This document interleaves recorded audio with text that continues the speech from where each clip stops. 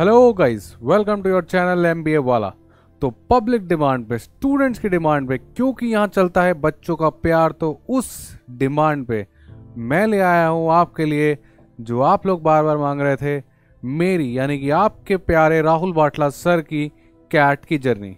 ये जर्नी आपको बताएगी कि कैसे कैट को एस किया जा सकता है, कैसे कैट को 99 प्लस परसेंटाइल से फोड़ा जा सकता है। तो गाइस इस कहानी को शुरू करते हैं और जानते हैं कि मेरी जो जर्नी थी वो कैसी थी राइट क्या कोई हिकअप्स थे या शुरू से ही मेरे मॉक टेस्ट में परसेंटाइल्स आने शुरू हो गए थे। तो गाइस क्या कहानी होती है उसको समझते हैं राइट तो अगर आप भी चाहते हो कि आपकी कुछ ऐसा स्कोर कार्ड दिखे 99.46 परसेंटाइल्स राइट एंड उसमें अराउंड 99.85 परसेंटाइल इन क्वांट तो ये सब नंबर्स कैसे क्रैक किए जा सकते हैं, इनको आप समझते हैं।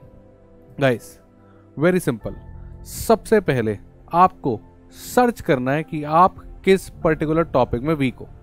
यानी कि क्वांट वर्बल या एल में से कौन सा सेक्शन ऐसा है जहाँ आपको सबसे ज़्यादा परेशानी होती है? फॉर एग्ज़ाम्पल मेरा क्वांट बैकग्राउंड था राइट right? आपका वर्बल हो सकता है।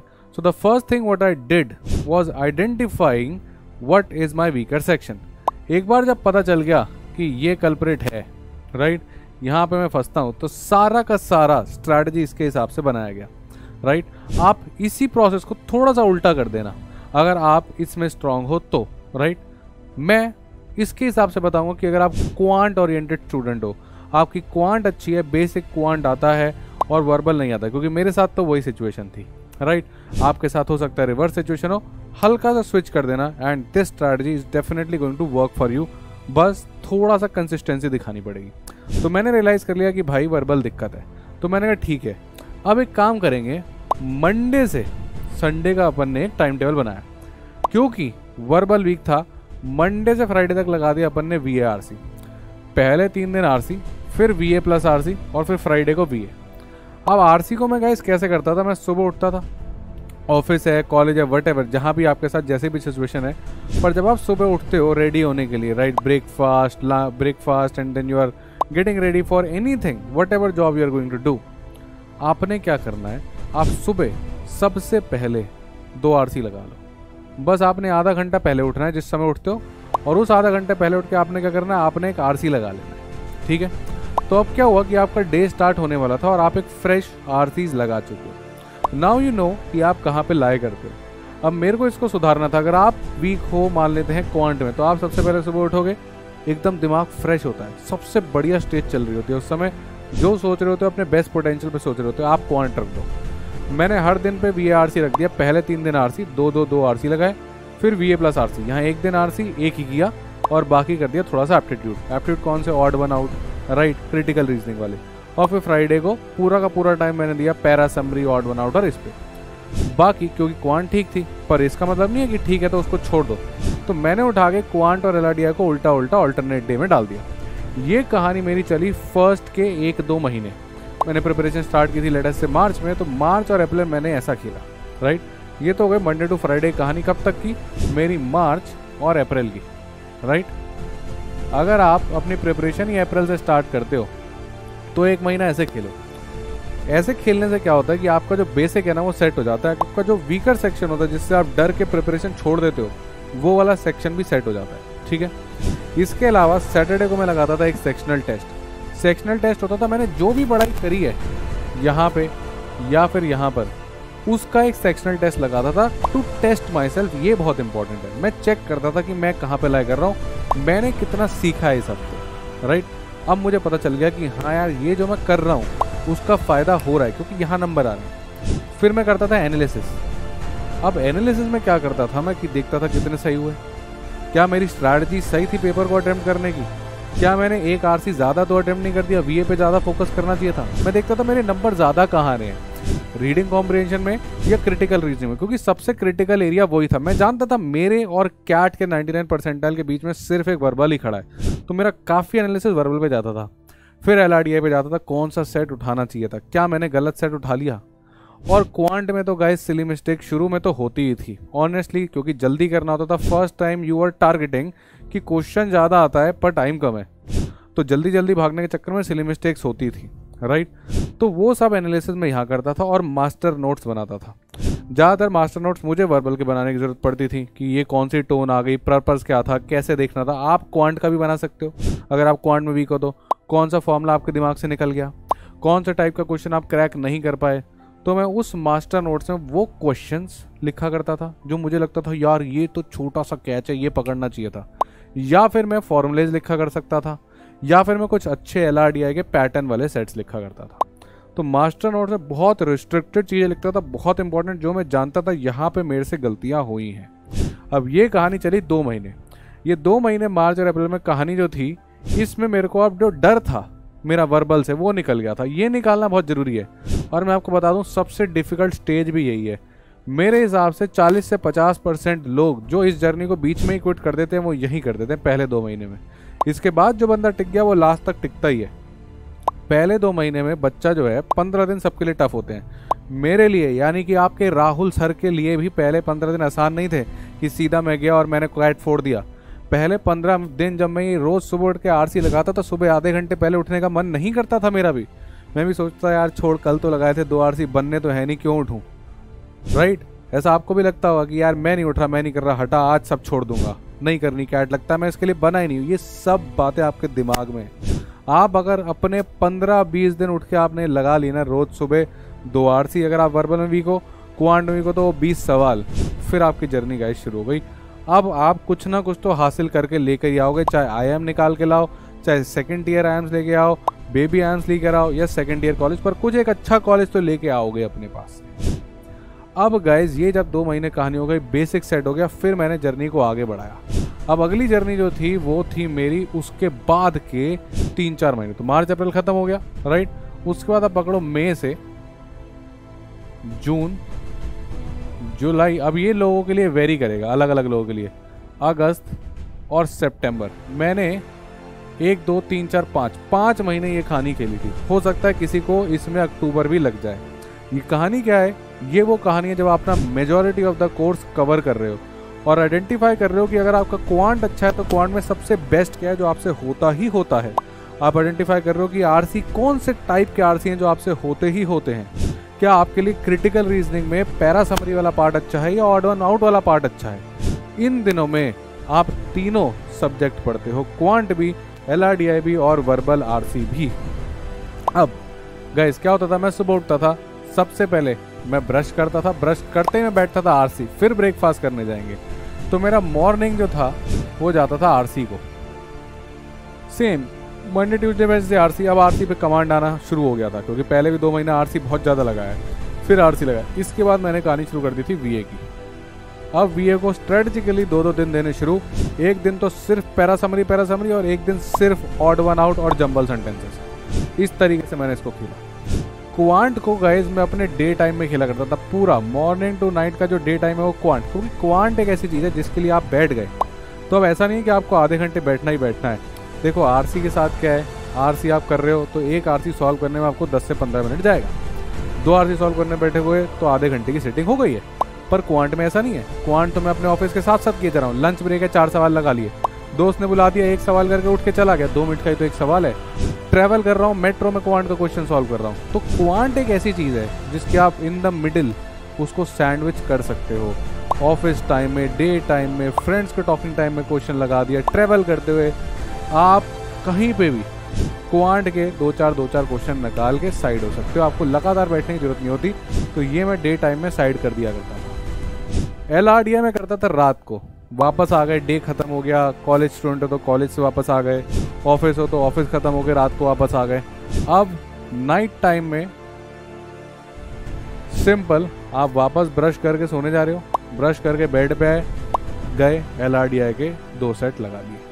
तो L R D I is in the night R C is in the morning अगर आप वर्बल में अच्छे हो और क्वांट साइड में वीक हो तो आप इस वाले पार्ट को इस पार्ट के साथ स्विच कर लो। Right right? क्योंकि मैं चाहता हूँ कि आप जिस पार्ट में वीक हो, उसको सबसे फ्रेश माइंड वाले जोन में करो। अब मेरा क्वांट ठीक था अच्छा था। तो एल आर डी आई भी थोड़ा सा क्वांट ओरिएंटेड ही होता है। आपका वो वाला माइंड डेवलप होता है एप्टीट्यूड वाला। तो मेरे लिए थोड़ा आसान होता था इसको नाइट में करना। दिमाग चल जाता पर अगर मैं इसको रात में डाल दूँ तो मुझे तो नींद आती थी। भाई, आर सी पढ़ते हुए मुझे भी नींद आती थी, आपको भी आती है, मैं जानता हूँ। अगर आती है तो बता देना कमेंट में सर, हमें भी आ जाती है। इसलिए मैं उसको सुबह सुबह करता था। अभी अभी फ्रेश उठे हैं। स्लीप डिप्राइव्ड है नहीं, क्योंकि अभी तो सो के उठे हैं सात आठ घंटा। तो मैं मस्त लगाता था सुबह। राइट अब ये वो जोन है, जब पाँच महीने आप कोर्स भी ख़त्म कर रहे हो कोर्स खींच रहे हो, समझ रहे हो आप किसके लिए बने हो।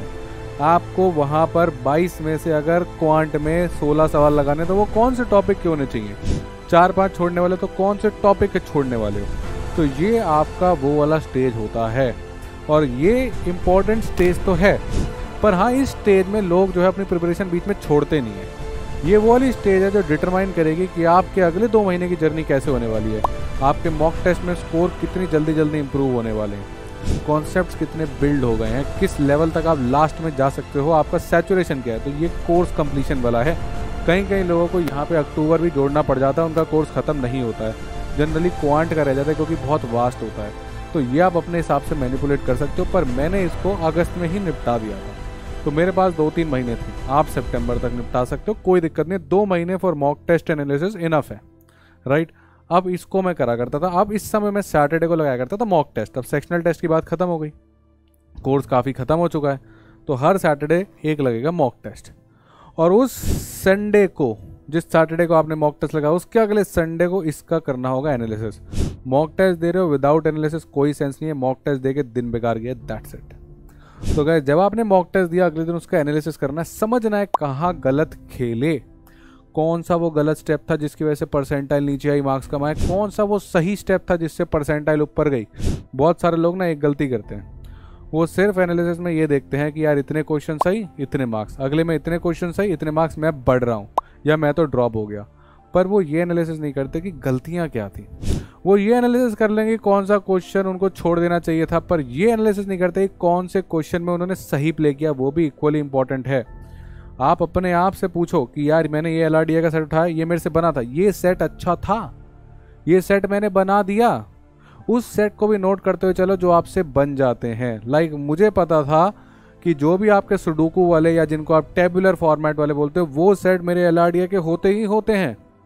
मेरे को पता था अरेंजमेंट ओरिएंटेड एल का सेट आ गया मैं करूँगा ही करूँगा इन्फॉर्मेशन वाला आया मैं करूँगा ही करूँगा मेरे से बनना ही बनना है। कौन सा नहीं बनता था मेरे से? कहाँ पे ट्रबल होती थी?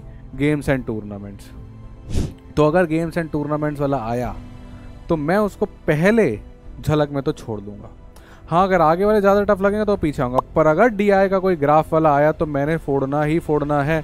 परसेंटेज ओरिएंटेड आया, मैंने फोड़ना ही फोड़ना है। पी एन सी ओरिएंटेड है मैंने फोड़ना ही फोड़ना है। तो ये भी एनालाइज करो कि मेरी स्ट्रेंथ क्या है। और वो सब आपको यहीं पे होंगी। जब यहाँ लगा रहे होगे रोज रात को, और जब यहाँ पे टेस्ट में देख रहे होगे एनालिसिस कर रहे होगे तब। और फिर उन एनालिसिस के साथ बनेंगे नोट्स जो आपके मास्टर नोट्स चल रहे हैं। मास्टर नोट्स में तो वो लिखते रहना है। एक एक फॉर्मूला जो एक्चुअल पेपर में लगा। जो मॉक टेस्ट में लगा, जो आप सोच नहीं पाए उस समय। क्लियर तो ये जो मेरी जर्नी थी, ये थी मेरी अगली चार पाँच महीने की जर्नी तो पहले दो महीने journey was just a warm up to remove all the fears from the subjects which I never wanted to study from the subjects which I thought कि मेरे और कैट के बीच के कांटे हैं। सबसे पहले उनके साथ कंफर्टेबल होना बहुत ज़रूरी है। आप लोग क्या गलती करते हो? आपको गाइज़ मान लेते हैं क्वांट पसंद है। मैं प्रिपेयर कर रहा हूँ। क्या प्रिपेयर कर रहा हूँ? आज मैंने क्वांट कर ली। चल ठीक है, अगला दिन आया। मैं कैट के लिए प्रिपेयर कर रहा हूँ। क्या करें? वर्बल करने का तो मन कर नहीं रहा। पसंद तो क्वांट है। चल आज फिर क्वांट कर लेते हैं। हफ़्ते के चार दिन में आप क्वांट का ही ओवर करे जा रहे हो। और जो चीज़ वीक थी वो कर नहीं रहे हो। यहीं पे आधे लोग फेल हो रहे हैं ये स्ट्रैटी बनाने में। पहले दो महीने आप गाइस डेडिकेट कर दो उस सब्जेक्ट के साथ मेजरली जो आपको लगता है आपके और कैट के बीच में खड़ा हुआ है। चाहे वो क्वांट है या वर्बल, और बाकी दोनों सब्जेक्ट्स को ऑल्टरनेटली प्लेस कर दो। तो मान लेते हैं, जैसे मैंने दिखाया मेरा आर सी वीक है तो मैंने मंडे से फ्राइडे आरसी लगा दिया, और बाकी क्वांट और एलआरडीआई को ऑल्टरनेट अब आपके जब कंफर्टेबिलिटी लेवल आ जाता है क्वेश्चन बनने शुरू हो जाते हैं टाइम एफिशिएंसी बढ़ जाती है, तब आप ऐसे लगाओ, तीनों तीनों सब्जेक्ट हाँ मेजर टाइम पे आपके तीनों सब्जेक्ट तो लग ही रहेंगे अब इस टाइम पे जब मैं खेल रहा था तो मेरा मॉक जो मॉक टेस्ट के जो नंबर हैं, वो आराम से 70 80 क्रॉस करने लग गए थे।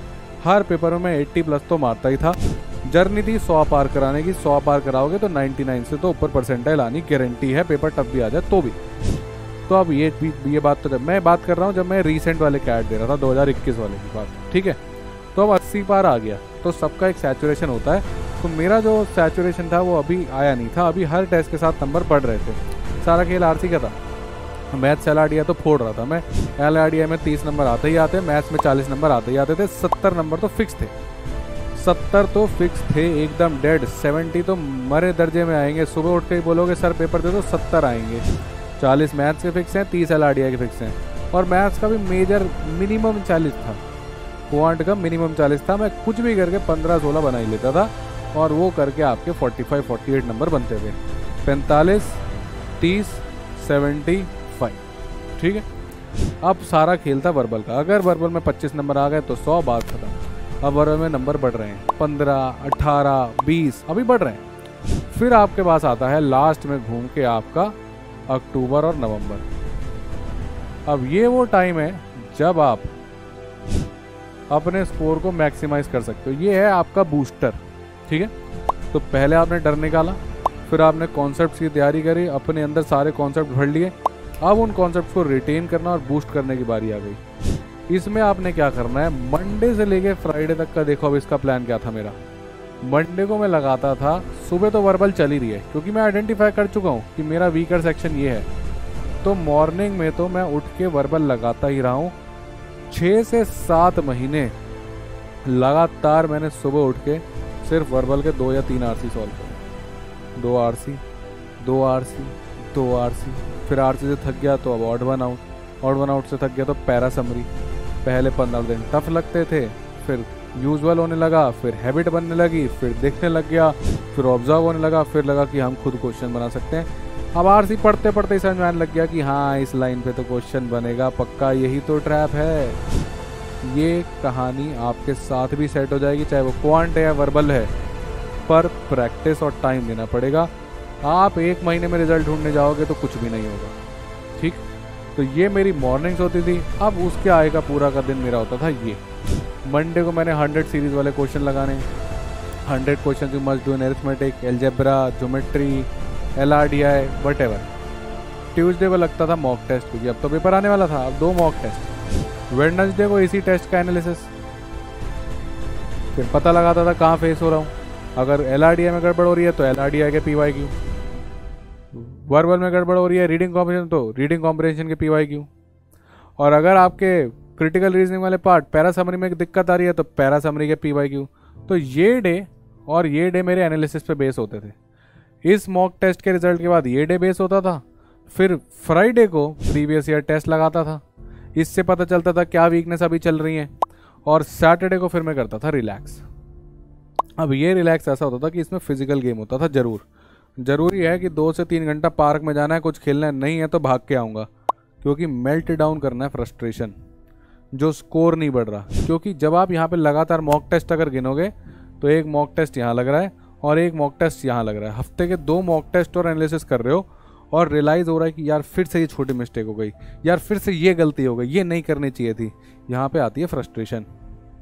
मैथ्स में 55 आया 54 आया, फिर अचानक से एक दिन 42 आ गया सिली मिस्टेक्स कर बैठे, फिर आती है फ्रस्ट्रेशन उस फ्रस्ट्रेशन को दूर करेगी ये सैटरडे की आपकी रिलैक्सिंग पार्टी सैटरडे भी आपका ऑफ़िस होता है या कॉलेज होता है तो संडे को करो ये ठीक पर ये करना बहुत ज़रूरी है, क्योंकि लास्ट के दो महीने में बच्चा सबसे ज़्यादा डरता है, सबसे ज़्यादा अपने ऊपर सेल्फ डाउट करता है, और उसको निकालना है ना गाइस तो ये कहानी बहुत ज़रूरी है। ठीक है? अब आपका जब ये मामला सेट हो जाए कि सैटरडे को आप खेल रहे हो, संडे को मॉक टेस्ट लगा रहे हो आप, ट्यूसडे को मॉक टेस्ट लगा रहे हो तो देखो संडे के बाद स्ट्रैटेजिकली मंडे को ये वाला हंड्रेड सीरीज़ वाला डे डाला गया है। अब आपने मॉक टेस्ट लगाया, उसका एनालिसिस किया। आपको रियलाइज़ हुआ क्वांट में ज्योमेट्री ख़राब चल रहा है तो ज्योमेट्री के हंड्रेड क्वेश्चन लगाओ। आपने रियलाइज़ किया कि यार मेरा क्वांट में ज्योमेट्री तो ठीक है, पर एल्जेब्रा ख़राब चल रहा है तो एल्जेब्रा के हंड्रेड सीरीज़ लगाओ। तो मॉक टेस्ट के तुरंत बाद ही आ जाएगा। और इस वाले मॉक टेस्ट के तुरंत बाद पी वाई क्यूज आ जाएँगे तो आपके पी वाई क्यू कवर भी हो गए मॉक टेस्ट भी कवर हो गया प्रीवियस ईयर टेस्ट भी कवर हो गए, और साथ ही साथ आपने उन टॉपिक्स के साथ सबसे ज़्यादा प्रैक्टिस करी जो टेस्ट में ख़राब आए थे। अब एनालिसिस ही नहीं कर रहे हो। तो पता ही नहीं चल रहा क्या ख़राब है तो फिर ये रैंडम क्वेश्चंस लगा रहे होगे।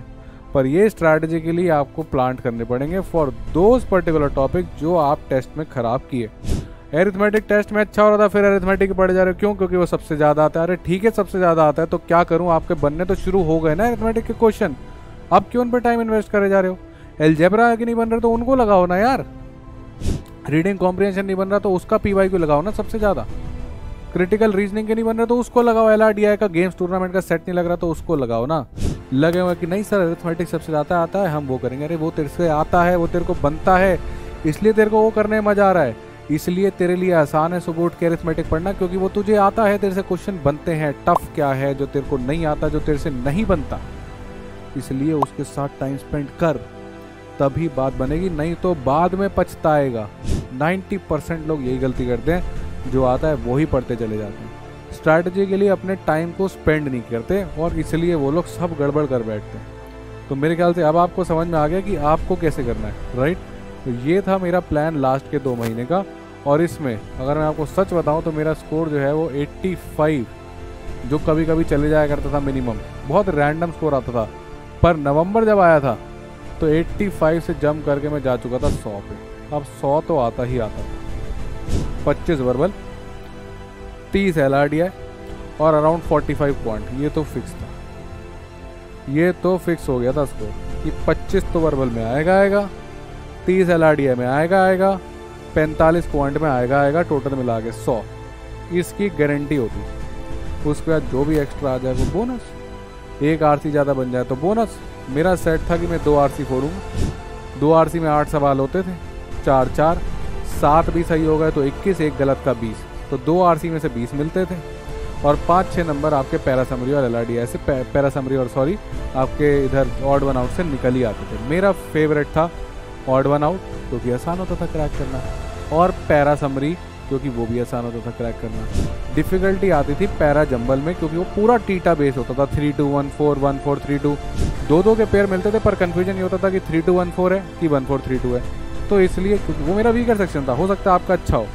तो आपको सिमिलरली क्वांट में खेलना ही है चीज़ राइट पर मैंने कैसे अपनी जर्नी प्लान की थी, ये मेरी जर्नी है राइट सबकी जर्नी अलग अलग हो सकती है, पर अगर आप भी एक क्वांट स्टूडेंट हो एक इंजीनियरिंग स्टूडेंट हो, एक आईआईटी एनआईटी एक ऐसे कॉलेज के स्टूडेंट हो, या फिर आपने भी आईआईटी की तैयारी करी थी मैथ स्ट्रॉन्ग था। इंजीनियरिंग की तैयारी करी थी मैथ स्ट्रॉन्ग था। कॉमर्स बैकग्राउंड से थे, पर मैथ स्ट्रॉन्ग था। तो आपके लिए ये बहुत वर्क करने वाला है। ठीक है? और गाइज़ लास्ट में, जब आपके स्कोर बढ़ना शुरू हो जाए, जब आप कंटेंट पढ़ रहे हो स्कोर ना भी बढ़ रहा हो तो कुछ चीज़ों का ध्यान रखना। डेडिकेटेड रहना जर्नी शुरू करिए एंड तक ज़रूर जाना। ओलंपिक्स में भी जब फ़र्स्ट सेकंड थर्ड मैराथन वाले आ जाते हैं, बाकी लोग भाग के मैराथन ख़त्म करते हैं। बीच में मत रोको, क्योंकि आपको नहीं मालूम है यार कि हो सकता है कि आपको जो लग रहा है कि ये नंबर तो किसी काम के नहीं है, उस पर भी एक अच्छा कॉलेज मिलता हो। आपकी प्रोफ़ाइल अच्छी हो कि उस परसेंटाइल या उस स्कोर पे भी आपको कॉल आ जाए। तो डरने का नहीं पेपर ख़त्म ज़रूर करना, ये जर्नी ख़त्म ज़रूर करना, पढ़ाई पूरी ज़रूर करना और मेहनत पूरी करना और लगन से करना, डर के मत भागना। रिमेंबर करना कि आपने कहानी शुरू क्यों की थी। जब शुरू किया था, तब तो नहीं बोला था कि यार टफ होगा तो मैं भाग जाऊँगा। तब तो बोला था ना कि लड़ेंगे। तो आज क्या हो गया? लड़ना अंत तक, बीच में नहीं भागना। काफ़ी सारे लोगों को गलत प्रूफ करना है आपने। वो हो सकता है आपके कॉलेज के फ्रेंड्स हो सकता है वो आपके कलीग्स हो, जिन्होंने बोला हो आपसे कि आपसे नहीं होगा, उनको गलत प्रूफ करना है। अगर ये आग मन में जला ली ना, और ये आग कोई नहीं बुझा सकता। आपको टाइम पास करने के लिए मुझे मोटिवेट नहीं करना पड़ता कि यार सुबह उठ के यार एक बार इंस्टा ज़रूर चलाना यार, सुबह उठ के यार व्हाट्सएप ज़रूर चलाना यार। क्यों? क्योंकि अपने अंदर से ही आ जाता है, वो एक हैबिट बन चुकी है, उसके लिए मोटिवेशन चाहिए नहीं। मोटिवेशन किसके लिए चाहिए? पढ़ाई करने मोटिवेशन किसके लिए चाहिए? सुबह उठ के RC लगाने के लिए, क्योंकि उसका मन नहीं करता। क्यों? क्योंकि एक अंदर से स्पार्क नहीं है एक अंदर से आग नहीं है। पर अगर वो आग जल गई तो मेरे मोटिवेशन की ज़रूरत ही नहीं पड़ेगी। खुद जाके खोलोगे और पढ़ाई करोगे। तो गाइज़ याद रखना, बहुत सारे लोगों को गलत प्रूफ करना है डिटर्मिनेशन ही की है। आज सोच लिया मैं 99 परसेंट फोड़ूँगा, बहुत सारे लोगों को बोल दिया, खुद से बोल दिया, और दो दिन बाद खुद ही भूल गए वो किए हुए वादे जो खुद से किए थे तो क्या होगा यार? फिर कुछ नहीं होगा। लड़ना है, और सेल्फ डाउट मत करना। बीच में बहुत से दिन ऐसे आएँगे जब तेरे को लगेगा कि लगता है मेरे से नहीं होने का। बहुत से दिन ऐसे आते थे। मेरी जर्नी में भी आया था कि मेरे से कहा था, यार, मैं नहीं कर रहा अभी ये रीडिंग कॉम्प्रिहेंशन और मेरे को बनाना ही नहीं है ये और आरसी मेरे को करनी ही नहीं है रीडिंग और मेरे को नहीं समझ में आता है। सारे ऑप्शन एक जैसे लगते हैं। बहुत दिन लगा।